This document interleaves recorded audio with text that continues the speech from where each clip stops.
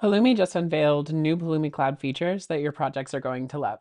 Today we'll get right into the code with IAC for automating your GitOps deployments with the newest cloud features including scheduled deployments for automatic infrastructure provisioning, time to live stacks for automatic infrastructure teardown, and drift detection for alerting and remediation of drift between actual state in your infrastructure and desired state as defined in your Pulumi infrastructure as code. First off, however, we need to understand Pulumi deployments. So let's review. Pulumi Deployments is an infrastructure lifecycle management service. At first glance, it looks similar to common workflow pipeline tools like Jenkins, GitHub Actions, CircleCI, and other workflow automation tools. Now, I have already deployed some infrastructure, including a basic Kubernetes cluster. To utilize Pulumi Cloud deployments, we need to start by configuring the stack deployment settings. So let's get into it. Now here in VS Code, I've opened a repository containing the uh, infrastructure as code for this demonstration. First, let's take a look at what we already have deployed. At this time, we have our Pulumi stack, which we're calling the Kubernetes platform, and we're using the dev stack. The first thing provisioned is a provider for the Civo cloud, and we're using the Civo cloud to provide a firewall, a Kubernetes cluster, and we're returning a Kubernetes provider as an output so that we can also schedule workloads to the cluster later on down the line. Now let's go ahead and take a look at the code that deployed this infrastructure. This main.py represents the entry point of our program. We're going to skip over most of it, but I wanted to go ahead and point out this Pulumi configuration section. Here we're setting the name of our Pulumi organization. We're setting the name of our GitHub repository that stores our code. And we're returning the project and the stack names for our infrastructure as code as well. We will be using those to configure our deployment settings. Now we're going to skip over most of the code for the infrastructure we've already deployed and focus on the deployments configuration. Now the first thing you'll note is we use a Boolean to control the flow of our code. In this case, we are gating the Pulumi Cloud deployments configuration behind a Boolean for Pulumi Cloud.deployment.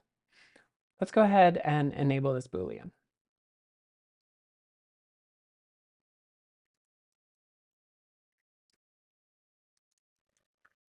We'll double check our Pulumi configuration. Sure enough, our Pulumi Cloud.deployment key is ready is set to true. Now that we've activated the code, let's go take a look at it before we actually deploy.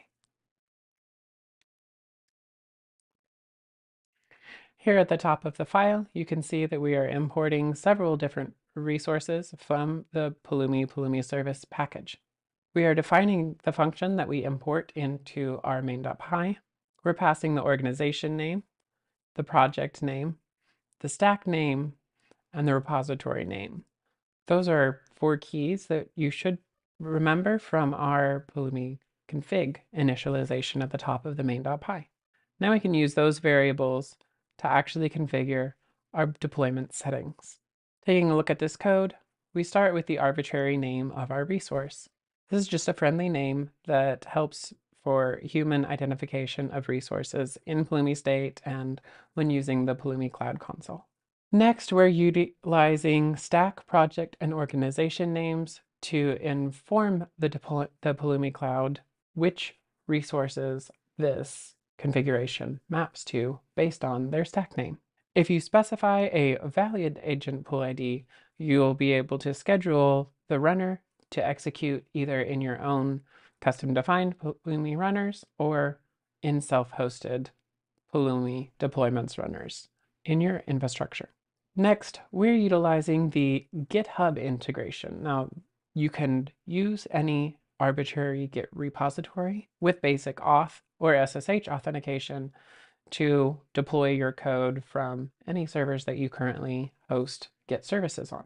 Alternatively, you can use GitHub integration to deeply embed the features of Pulumi deployments in your workflows. With the deployment settings GitHub args, you can define when to actually execute the deployment. We're going to go ahead and enable it for deploying to comment commits that go directly to main. We're also enabling the preview for pull requests. While the deployment supports generic Git server configuration and authentication with basic auth or SSH key auth, we're using the GitHub integration itself, which allows a deeper integration between Pulumi Cloud and your GitHub workflows. Here, we're enabling the deployment commits set to true so that it will run the deployment on every commit to main. And we are also enabling the preview on pull requests so that you can see the plan before you actually execute a deployment in a merged code base.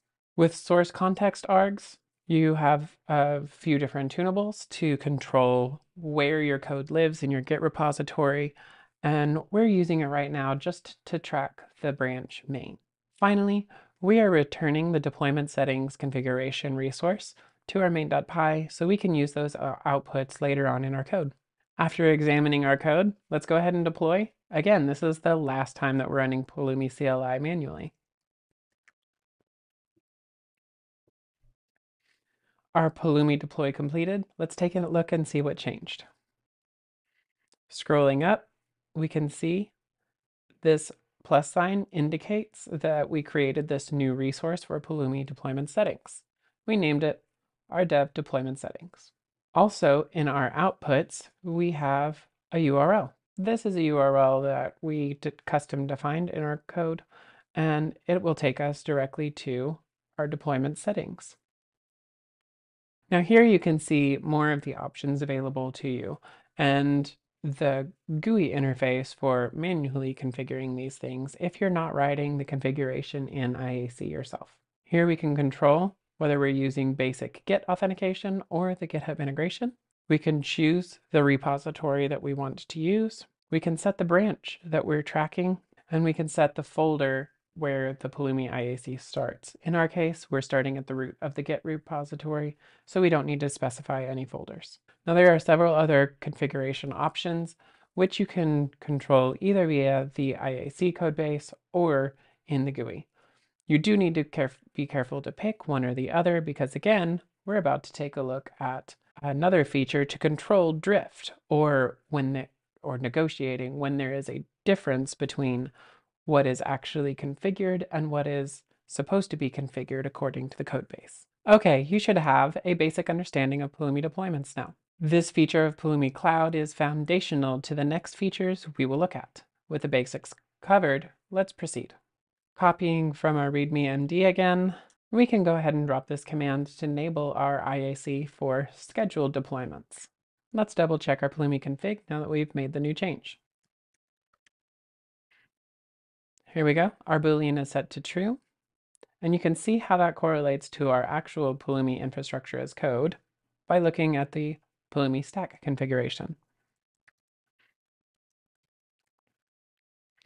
Now here we can see that there is a line for each of the Booleans that we use to control deploy Kubernetes, our Pulumi cloud deployment, and our Pulumi cloud deployment schedule. Now from here, you might expect us to manually execute our Pulumi up command to deploy the new code. However, this is when our new deployments can actually show off their magic. Instead of a Pulumi up command, we're actually going to commit our git changes to GitHub.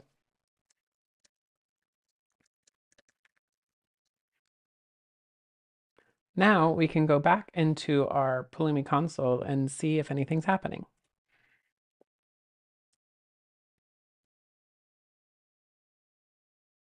We're going to take a look at for our stacks. Look here. And we can see that just a moment ago, a new deployment was started from a GitHub push. And here we have a pipeline running. It is currently installing the dependencies for our Python IAC.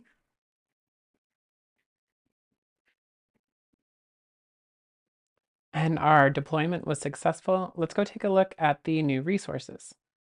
So if we jump over to update, you can see again that this update was triggered through GitHub. Now here we can see that these new resources are set as children of the deployment settings. All of these new schedule deployment resources are dependent on the deployment settings existing before you can actually write them into the code. So make sure and get your dependencies set up correctly if you do this through infrastructure as code instead of the web UI.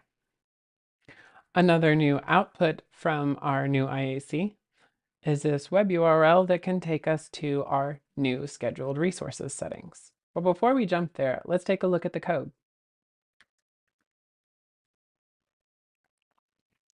Now, here at the top of our new IAC file, we are again using the Pulumi Pulumi service package, and we're importing a few different resources. We're using TTL schedule, drift schedule, deployment schedule, and Pulumi operation.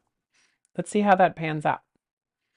In our function, we're once again passing an organization name, project name, stack name, and this time we're also passing the Pulumi Cloud deployment, which was the resource that we used to configure our deployment settings. This being a parent of the new resources we're creating, we have to pass that in so that it can correctly calculate dependencies. Now, first up, we have scheduled deployments. This enables scheduled automation of Pulumi Preview, Pulumi Up, Pulumi Refresh, and Pulumi Destroy operations. If we start by taking apart the code in front of us, this new Pulumi schedule deployment schedule resource, we start off again with our arbitrary name for the resource, and then we jump straight into the cron schedule. Now this cron syntax is, should be common to most sysadmins and is common annotation for describing the month, day, week, and time of running different operations. Here with our Pulumi operation, we're specifying the action to take. Now it accepts preview, update, and destroy. So for this particular resource, we are scheduling an update. This is equivalent to Pulumi up if you've already run it more than once. Again, we are also including our Pulumi Cloud organization, project, and stack names so that this schedule is attached to the right Pulumi stack IAC. Now I'll also show another operation. This time it's a Pulumi preview operation scheduled for Friday, May 17th. This is hard-coded based on a very specific scheduled time. So it shows you the different ways that you can schedule either through cron or through hard-coded time when the actual operation should be take, scheduled and execute. Again, we're defining which Pulumi operation to take. For this one, we're scheduling a preview. The rest of the options here should be familiar after going through the first example. Second up uh, is drift detection and remediation. This improves visibility into your infrastructure, alerting to infrastructure changes that may leave your operations out of compliance with your intended state. Additionally, it provides the option to automatically remediate the detected drift should you choose. You'll notice this drift schedule is a unique resource separate from the other resources we've looked at so far. Again, we have the option of using the cron schedule to detect drift, and then we can tune it to either auto remediate or just notify and report on drifted detections. The other configurations here should be familiar again. Third and finally, let's look at the TTL deployments configuration. Here, we define an end-of-life countdown clock for our infrastructure. Once this time and date rolls around, the scheduled deployment configuration will trigger a Pulumi destroy operation to automatically tear down the stack infrastructure once it's outlived its planned lifetime. Again, if we go to our stacks dashboard, we can select the stack, jump to the settings tab, and find all of these same settings available in the web UI for configuration through the console. In here, you can create or edit routines to set drift detection, time to live, and generic Pulumi up, destroy, and preview operations with a friendly user interface. Well, there you have it, a recap of Pulumi deployments and an introduction to the new deployment features including scheduled deployments, drift detection and remediation, and TTL stacks to automatically tear down infrastructure after its planned end of life. It's once again time for me to sign off. Give these new features a try, then find us on socials or community Slack and tell us how they help you. As always, go build stuff, go break stuff, and do it all with Pulumi.